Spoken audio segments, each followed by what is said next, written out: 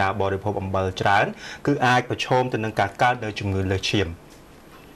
ជំងឺលើឈាមត្រូវបានគេចាត់ទុកថាជាជំងឺដ៏គ្រោះថ្នាក់ដែលអាចឆក់យកជីវិតមនុស្សបានយ៉ាងឆាប់រហ័សអ្នកវិទ្យាសាស្ត្របានបង្ហាញថាការទទួលទានជាតិអំបិលលើសកំណត់ពិតជាអាចបណ្ដាលឲ្យអ្នកកើតនៅជំងឺលើឈាម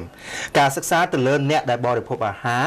ដែលសម្បូរទៅដោយអំបិលឬក៏ប្រៃខ្លាំងគឺពិតជានៅភាគរយ